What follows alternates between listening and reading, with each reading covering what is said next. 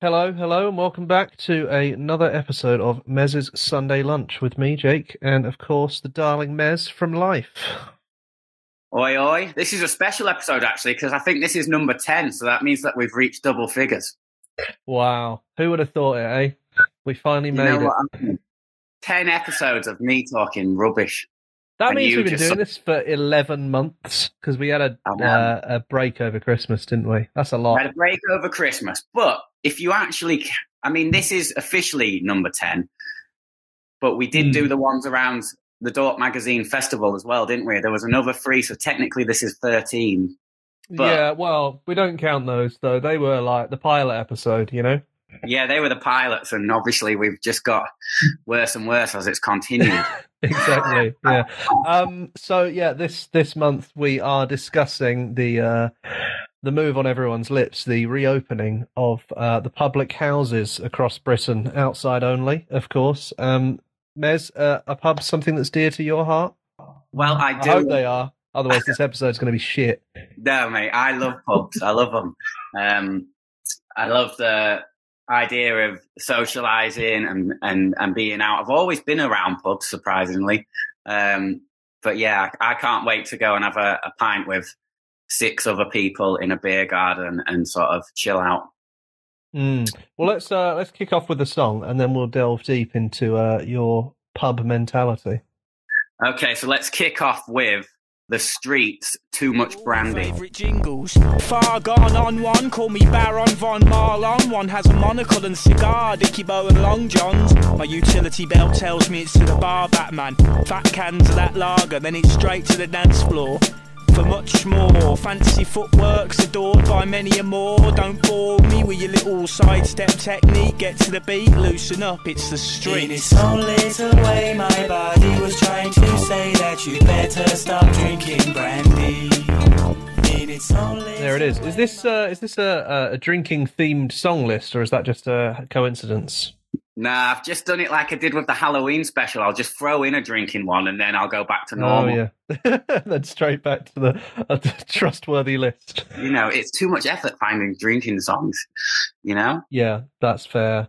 Um, well, the first thing I wanted to ask: Have you ever worked at a pub, Mez? Because I think that changes people's perspective on them. You know, actually, I did my work experience at, um, when I was in year 11. I did my work experience in a pub. I don't even That know if doesn't that sound legal. I, I don't know if it's legal anymore. 16 year old going into.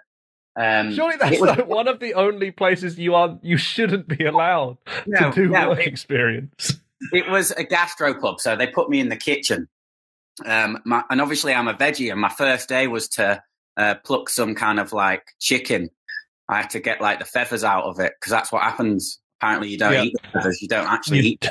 you, we don't. It's true. So my first job was to bag a load of feathers and then deliver these kind of birds to the chefs, um, uh, fully plucked. Um, but yeah, my first job was in my first sort of experience of work was probably in a pub. Work experience, I go. think, should be like, you know, a job that you couldn't get as a 16 year old. Whereas I feel like, you know, you could definitely get a job in a kitchen. So, I mean, you shouldn't be doing that for free, really, should you? I know. I mean, it is a bit sort of like I know work experience. Let's let's send these kids anywhere that's sort of essentially um, jobs that people don't want to do, and we'll get them to do it for free. But I guess you know it's soul my building. First, my first, my first actual job was in a kitchen, but I was getting paid for that. I was also sixteen, so like we had the same experience, but I got money at the end of mine. Yeah, yeah. Well, I actually got some. Uh, they did fudge at this pub, and I got some free fudge. Oh, there you go. You're a cheap date, aren't you, Mez? to be fair, though, I did I, for those five days. I worked real hard, and they did offer me a job, but I was like, nah, Yeah, Nah. I've done five days. That's enough. that's it. You see, you know, you put me in a kitchen, and I was chopping up meat all day long. When you know that wasn't So- part of, that wasn't part of my bargain. No, I think that's fair. Have you ever? So you've never worked behind the bar in a pub? No, but when my brother's worked in a lot of pubs, and he's had when we've had like lock-ins and stuff, I've poured a pint. Oh, well, that's basically the same then, isn't it? So you know, and I didn't do a very good job of it then. So I could only imagine what I'd be like doing it for real. But I'm good at drinking them. Yeah, Well, you know, we need you need. There's two sides to every coin. You know, your brother's pouring pints. You need someone needs to drink them. Exactly. Exactly. Um, how do you feel about gastropubs in general? You know, a pub that is basically just a restaurant but with a bar stall in it. I mean, they're not they're not exactly my go-to kind of uh, place. Um, I'm all up for bar snacks and stuff like that, but I'm, Hmm. a pub is sort of. I don't want to be. I don't I'm want to walk into. about a place, a place where you walk in and they they say to you like, you know, are you here for food or or just to drink? You know, that kind of pub Yeah, where they assume a meal is is on the cards. yeah, exactly. But it, that's not what you really want from a pub. You want to walk in and you don't want to be asked where do you want to sit. What um, have you booked a reservation? You want to walk in and sort of like see where the day takes you. So for me, I, I, I prefer the uh, more traditional pub or, or or the more traditional kind of bar setup. I would say. Um, Are you a pub bit man or a bar man? I'm a bit of both, you know. I think there is a, a time and place for for for both, and I guess um, a lot of these days there's not much difference between a pub and a bar. In you know, with the new sort of like um, pop up kind of bars that are opening up, are kind of like a pub in the fact that they're quite um, quite casual, um, but they Hmm. they're sort of they look more like a bar, don't they?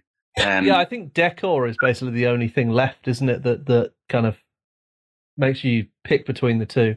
yeah. Like if you go in somewhere, you still know immediately if it's a pub or a bar, but there's not really much else that's different about that. I mean, I don't think you can really open a pub that isn't on the site of an existing pub anymore. Well, no, that's the thing. And people go to pubs because they want that sort of like pub experience. I'm all up for a traditional pub, but then I'm all up for a, uh, you know, a sort of cool bar as well. Um, What what would you uh what would you name your pub if you if you opened a pub? What would you call it? oh, if I had a pub, well, Real classic pub, you know. just a real classic pub with maybe like an open fire and stuff. Uh, yeah, that kind of thing. collection of nuts and like a couple of nice hand pulls and a couple of nice. Well, we'll get onto that, Mez. You know, Oh, let's right, okay, let's not put the cart before the horse here. You got to Uh, name it before you're picking the snacks. I would probably call it the sheep. because the I love the sheep. Have you ever been in a pub that's called the sheep? I haven't, but it's, I don't it think could so. Be. Well, there we go. There, that's my one, then, isn't it? The sheep. I love sheep as well. They are my favourite animals, so I may as well go with the sheep. Great. Well, here's to the sheep. Um, we'll listen to another track now, uh, and then when we're back, we'll start talking about uh, what the sheep entails. How are you going to tempt people in? Uh, so, what have you got for us on the song list? Okay, so this is "Strong Feelings" by Dry Cleaning. Tin glazed earthenware, flower brick painted in blue on the sloping edge, a vase of flowers in the front, a Chinese landscape on the sides, figures in a Dutch landscape.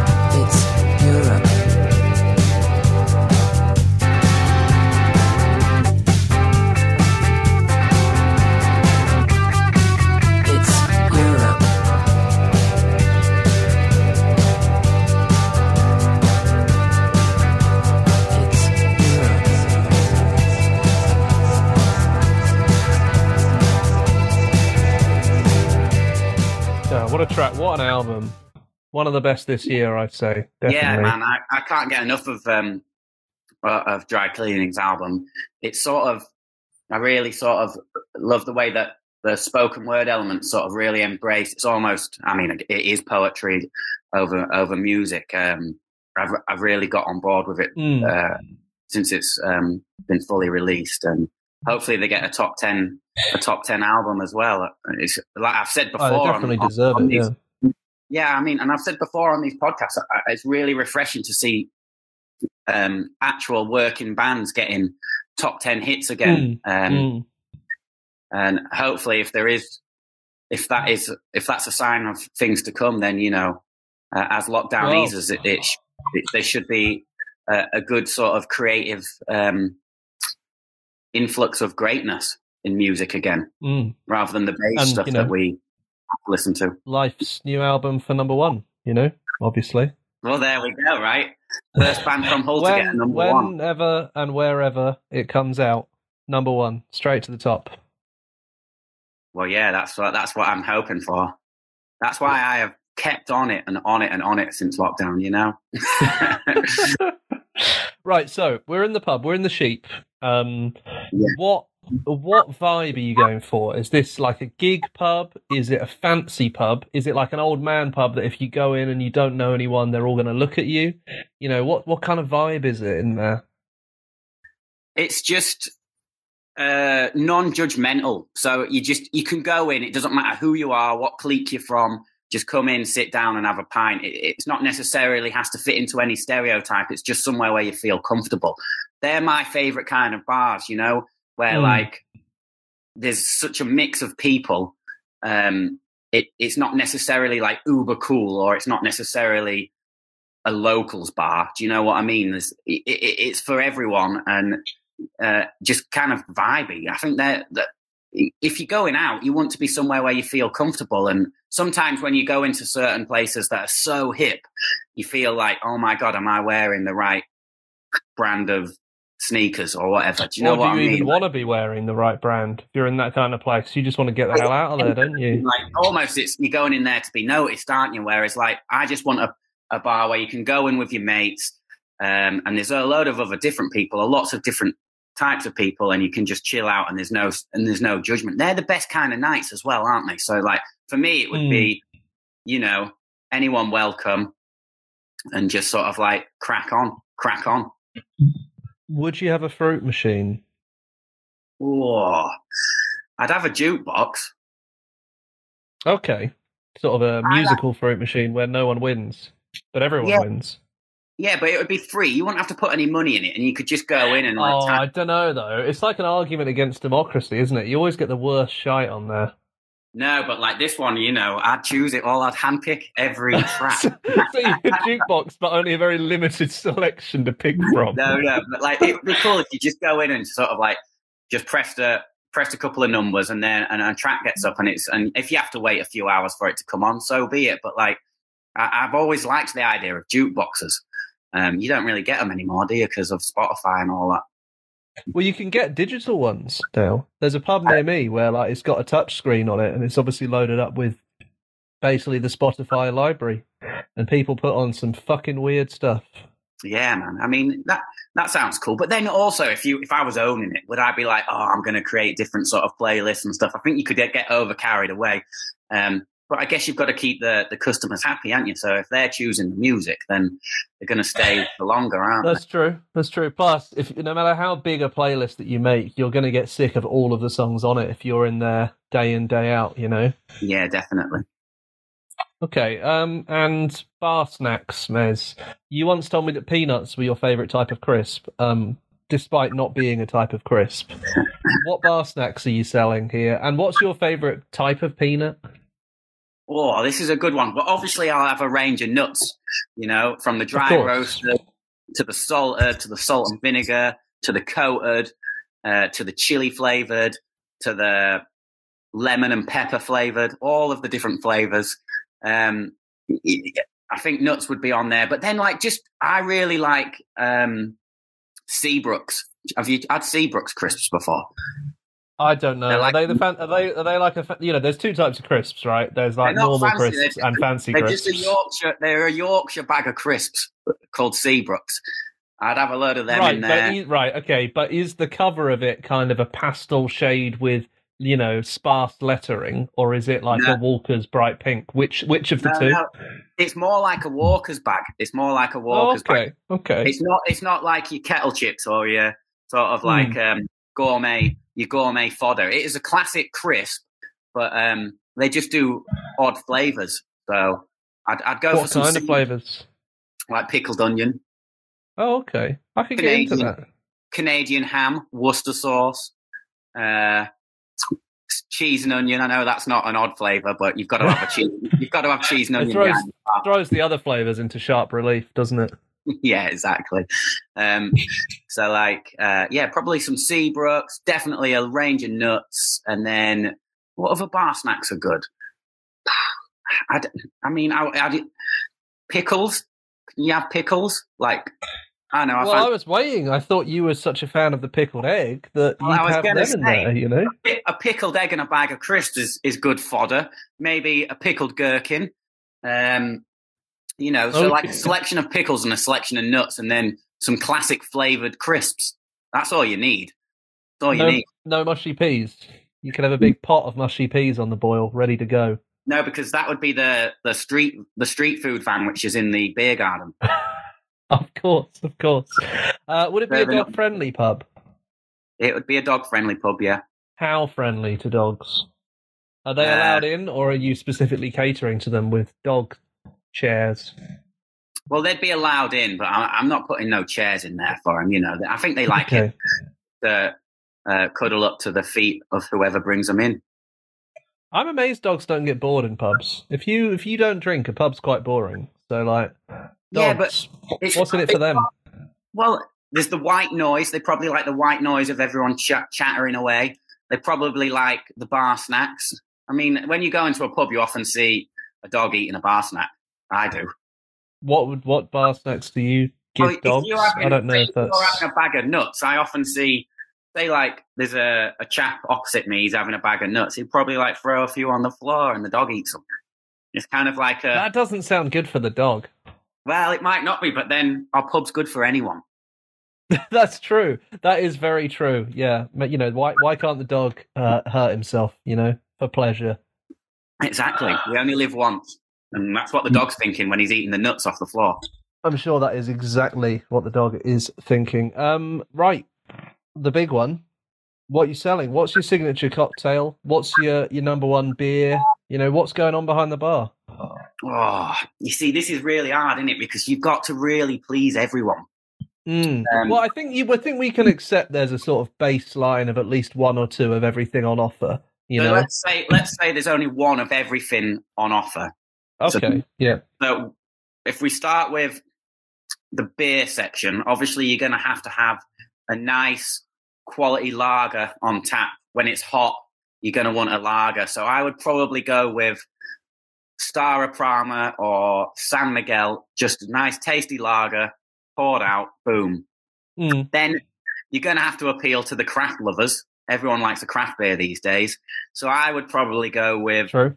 um, Life and Death by Vocation, uh, which is a Hebden Bridge brewery. So I'd probably do that. Although if it was in Hull, I should probably stay stay local and go with there's a, a, a brewery in, in, in Hull called Atom, and they they do a nice little craft beer called Catalyst. So maybe actually, see you later, Hebden Bridge. Everyone's moving there. Let's get people moving into Hull.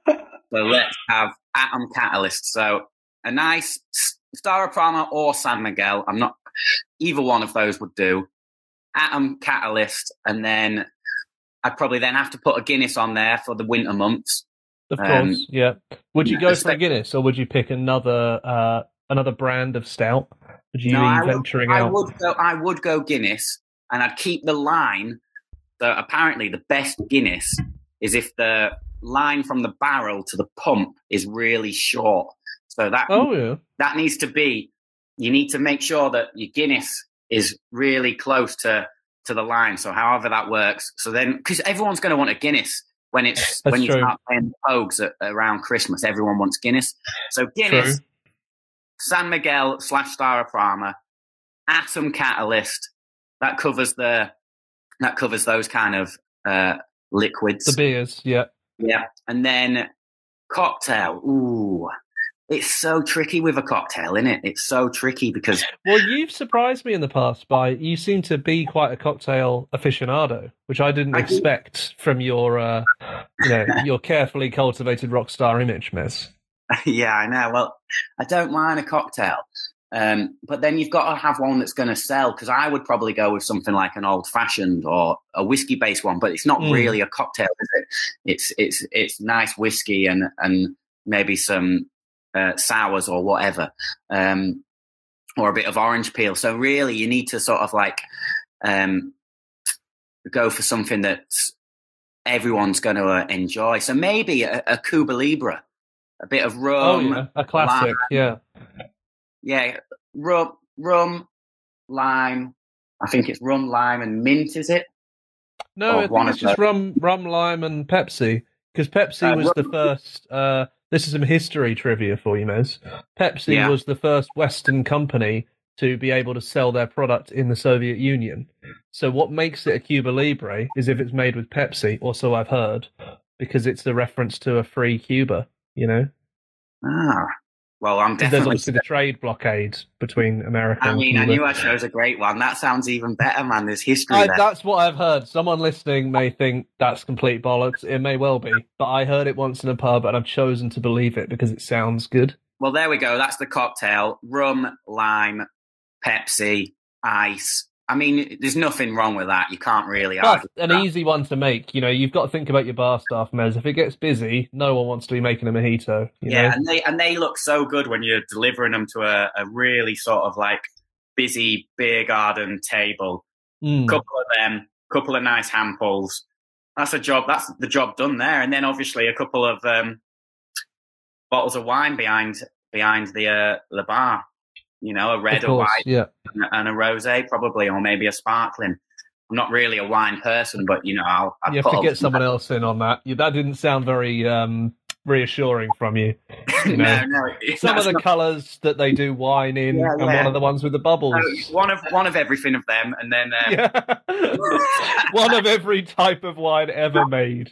uh, just for those who. But you don't really drink wine in a pub, do you? Or do you? I guess you do in a I bar. think, I mean, some people do. I think the thing is, I think if you were a group of people going to the pub, going out to drink wine, you wouldn't go to the pub. But you've got to bear in mind that sometimes you'll be in a group of people and one of them likes wine, but the majority want to go to the pub. So you do need it for that, don't you? Yeah, well, that's why I'm covering it in the in the Mm. sheep has got it covered. The sheep has got it covered, mate. They always of do. those- in his thick little and curly wool. exactly. All right, well, let's have another track. Uh, uh, celebrate free and easy wine. Okay, this is Sleaford Mods featuring Amy from Amyl and the Sniffers. This is Nudge It. Nudging, you're just a mind that's spraying and praying on walls. And the after effects are making my skin crawl. You're just a mind that's saying and playing sodor. And the after effects are making my skin crawl. I've been hard choked into a pool of inaction.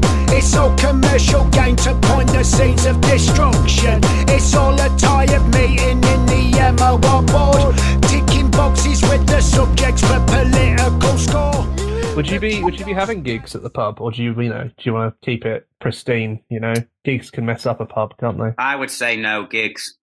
Just because I just think that you get. To, i i is it a venue then? Then does it become a venue? I think yeah, I think if pubs have gigs, they're two types, right? There's either which is like who cares, or like it's a gig venue that happens to look a bit like a pub that's shit kicked out of it. Yeah, exactly. Exactly. I You know, mean, those are those are the two, aren't they? Or or sometimes they do have a function room at the back, which is a good compromise. Like the Horn in Albans, for example. It's a pub, but it's got a little bit at the back for gigs. Yeah, and I mean, I've played various venues like that, including that one. Um, and I don't mind them; they're great. But I do think if you're if you if you're owning a pub, you need to make the distinction between pub and venue because Mm. You can either annoy everyone who's just drinking and they're not there for the gig, especially if it's a free show or something, so it's not ticketed, so the people there aren't necessarily going to be there to see you. And then also on the artist Mm. side of things, you go to a place like that and you're like, whoa, it's so vibey in here. And then it's a function room in the back and there's one person and, and, and like a merch stand. Yeah, You know what I mean? that's true. No, I Whereas think if you've got to to sort of that dis- is specifically for gigs, then you know the people there are going to go see the gig. So Exactly.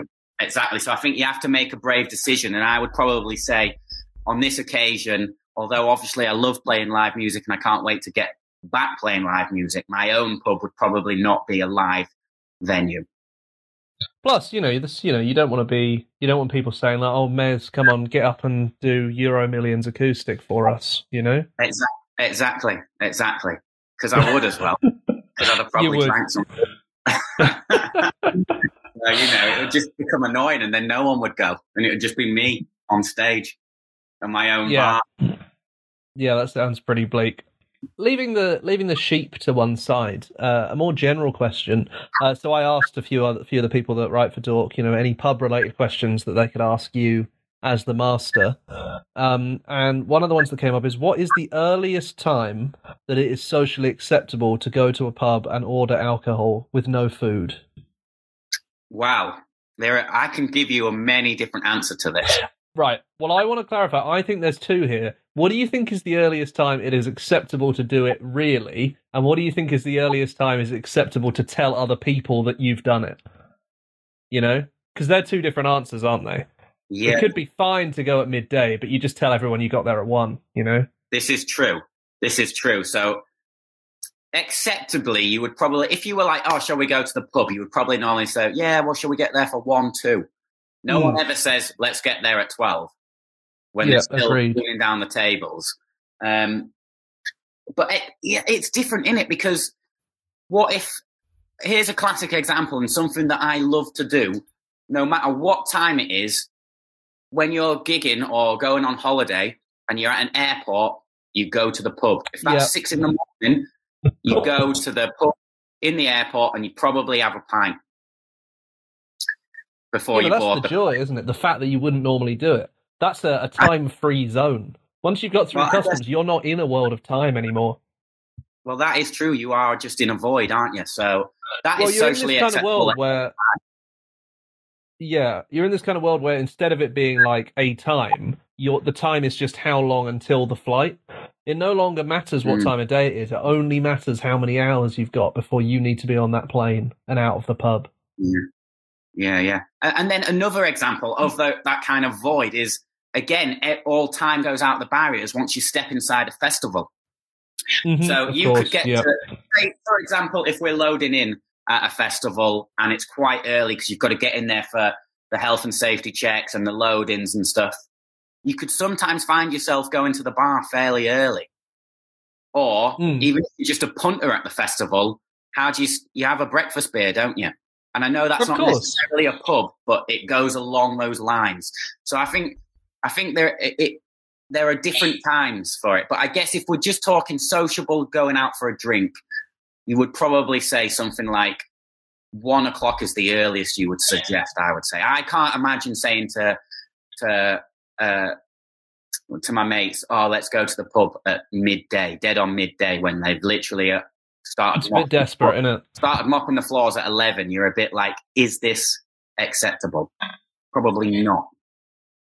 Yeah, myself and uh, who does the the for the main dork uh, radio show. Yeah. Um, just before they brought in the rule of six thing, I think it was. Basically, we got together in the day to plan some stuff that we had to do, and then it got to like two ish, and we went to a pub in London that purported to be open at two, and we were just stood outside with the chef in the ki- from the kitchen, who was also waiting for it to open and then we got let in and they were still like turning the lights on and like you know doing so basically we were just sat like in the dark in a pub at like 2 and p.m that just makes it feel a little bit more seedy, doesn't it? it was horrible yeah. And also the fact that like the bartender basically the the chef had said like do you mind if these guys go in? And the bartender hadn't been that keen. So we were just sort of sitting there and then there's no telling when it's okay to order a pint because we were like we don't want to order it before he's done everything but i also don't know what everything is Come on, you should have chose a different pub. Some of the pubs that do like breakfast and stuff, you can go. You could easily this just walk. pub this was just before they brought in one of the rules because this pub was doing like everything half price because No, they had to get rid of stock. So we got there nice and early and too early, but you know. But anyway, I was gonna say that's I think you know that's good. You basically it's, it's lunchtime, isn't it? It's the earliest it's okay to go to a pub with people. What do you think is the earliest time it is okay if you're walking past a pub to nip in for a pint on your own? Is it the same time or is it different time? Oh, I mean, that is a good one. I would probably say that's got to be a mid-afternoon type thing. I think. I've often nipped into the pub on my own. It's gotta, it's gotta feel like. It's Go got on. to feel like I've deserved this, and uh, it's okay. It's three o'clock. You know what I mean? Yeah, I feel Um, like it- it's it's got to feel like you've already done stuff in your day. You know, like Yeah. it's a reward for a day Yeah, rather than like the raft ruiner of stuff the day. day, and then it's three o'clock and you're walking in. Easy. Mm. Obviously, when you've just clocked off work as well, five o'clock, six o'clock, whatever. Yeah. I mean, that that's a no brainer. I mean, go for it. Do it as many times Mm. as you want. But could you go into a pub on, could you go into a pub on your own at midday? I mean, I I reckon you could, but would you feel comfortable? Maybe not. This is the thing. I think if you went into a pub at midday, I don't necessarily think anyone else would judge you. But would you feel comfortable? Is the thing. I feel like if I went into the pub on my own before like three p.m., I would be a bit like, oh, shouldn't really be here. Just personally, Yeah. just myself, you know. Well, I think that's the thing. I don't think anyone would judge you, but I think you judge yourself Exactly. in moments like that. That's what society's built on. That policeman in your head telling you, maybe we should all go to the pub at midday. You know, maybe Yeah. we should do it. But you know, you go to if if you're watching a sporting event and it starts at midday, you would wouldn't even feel bothered by that kind of the time. Yeah, I get around that by not going to sporting events ever. Yeah, yeah. But again, and again, that's like a time sort of like, oh, the time's out the window because you know it's an early. Yeah, I think it's the thing, isn't it? Every all of these things we are saying when it's okay are more when you've got a certain amount of hours until a thing. It's like if you're going to a gig, right? You have a few cans, uh, like a day festival. You might have a few cans on the train there, and that's at like 11 a.m. Oh, you're yeah. like, I've only got an hour till the festival, so basically it's like nine o'clock at night. You know? Yeah, yeah, no, definitely, I agree. You know, that's the same thing. Going to a festival, going to a gig, or going on holiday, those kind of things. It if you're going by train or by plane or whatever, those kind of things go out the window. And you're often doing that with other people as well. May I add? It's it's never normally on your own, is it? Yeah, that's true. If you're on the train on your own, I find if you're on the train on your own drinking before a festival, you're more likely to attract people that are also drinking on their own, and that can be a you know a bit of a recipe for disaster. Yeah, or could- a new friend. You know. well, yeah, exactly, yeah, exactly. Right, let's have another song, uh, and then I got a few more questions for you. Um, more about the the logistics of things within the pub. Uh, Okay, so let's go with one by King Gizzard and the Lizard Wizard.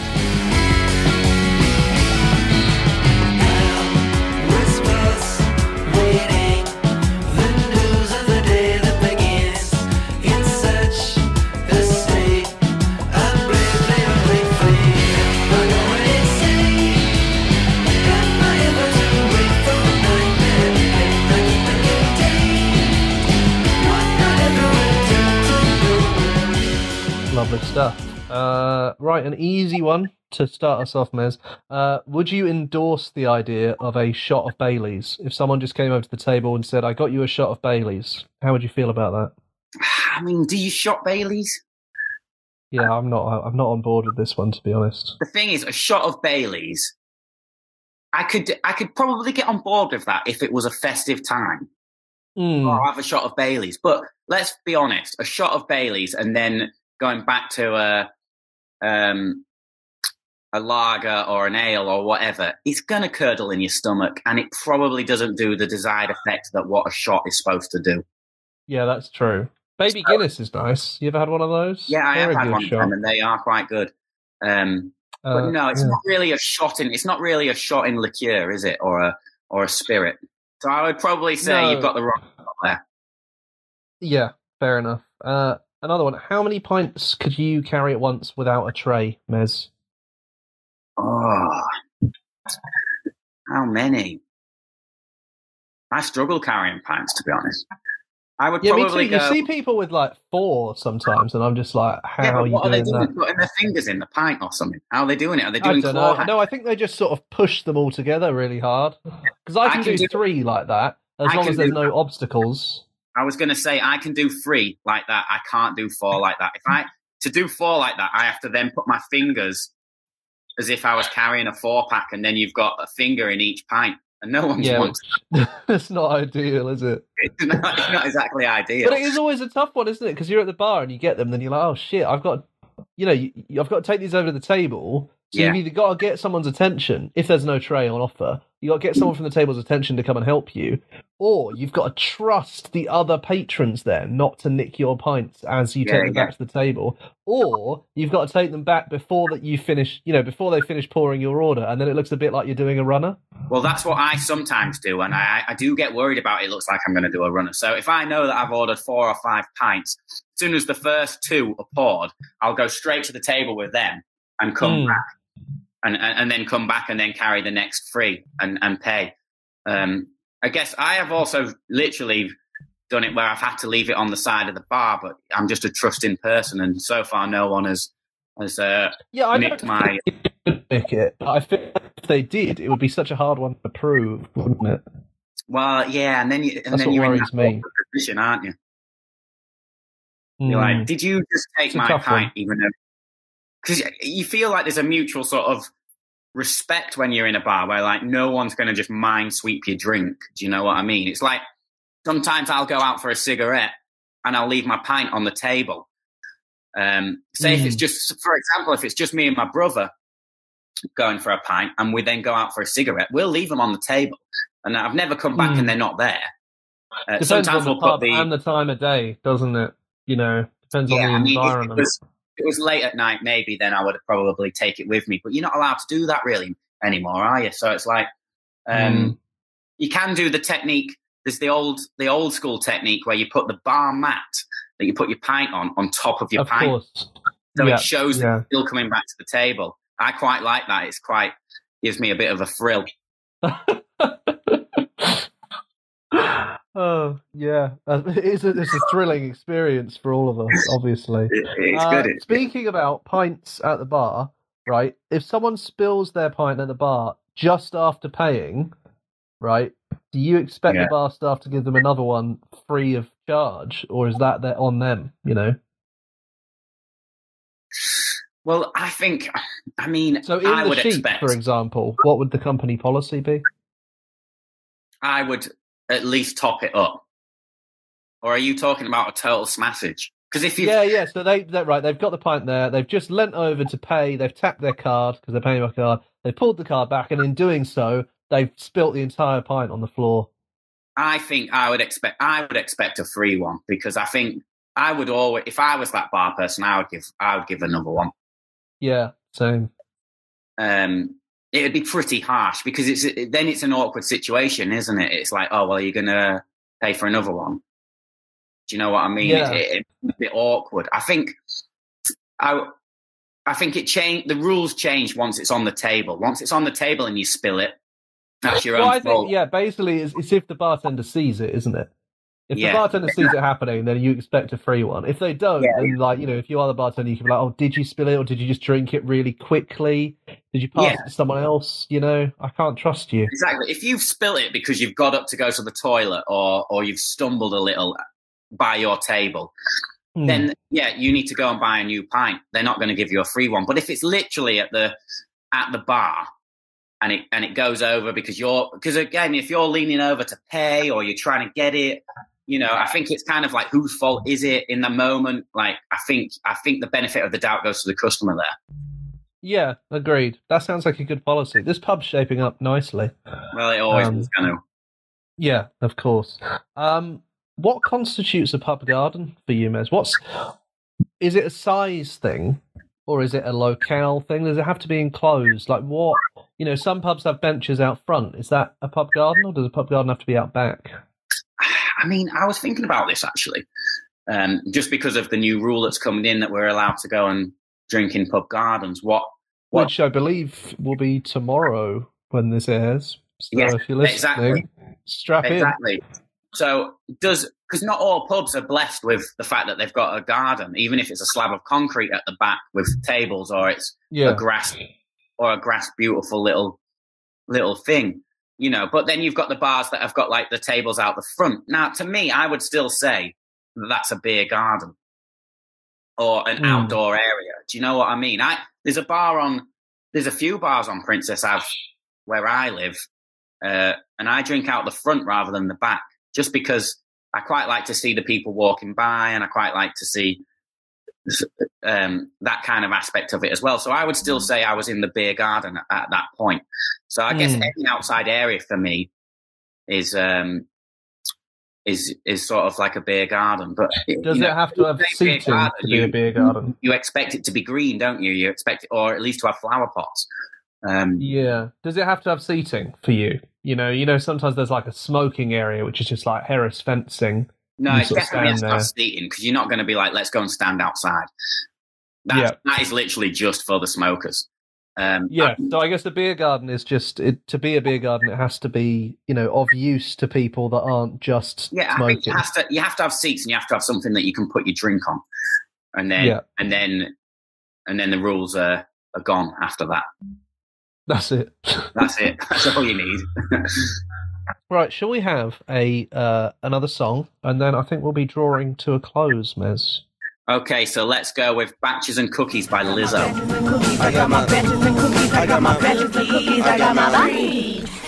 Outside of the club, but I'm drip, drip, dripping, sugar sweet, cinnamon on skin with a hooligans. Y'all came to rock and we came to But a swing of the lips, ring high to the eye. Go and take that sip, got milk in the die. So do it on tiny, babe, from green. Too bad my high process for the dream, dream. What does it mean? It means I think you take from me, unless it's just on BNT. That's all up in my energy. Yeah, yeah. Gon' place that bet if you want to come test it. Mom possessed with a bullet vest and a curious chest. Got the M on the brain, but I have the best. Hey. Bit left field considering the other choices there, Mez. Well, you know, uh, you start never with fail to surprise. start with a thematic one, and then you go out with a party banger, and that's what I'm hoping people are thinking this Sunday. Let's go out. Very much. A lot of your own supply. but you know, you got to mix it up sometimes. Yeah, that's true. I enjoyed it. We enjoyed it, and that's what counts. You know, everyone listening, I'm sure, was carried away by our enthusiasm as well. Um, I think that's it for another month, Mez. Um, we will be back in Well, a month's thanks for having time. Worse the wear for all of the pub gardens, presumably. Um, anything else? Any last words for the listeners at home? Well, no, I guess I just hope that everyone sort of like is feeling a bit more positive now, and then um, go out, have a nice little drink, or go get your hair cut. I think that's another thing that you can do, or, or Mm. and um, genuinely sort of enjoy uh, less restrictions, uh, but do it in a safe way. And I guess that's all we can say, really, isn't it? That's very pure of you, Mez. Nice one. You know, I Uh, am a pure. You are, yes. Right, join us next month for another episode of Mez's Sunday Lunch. Uh, for now, yeah, goodbye and God bless. God bless.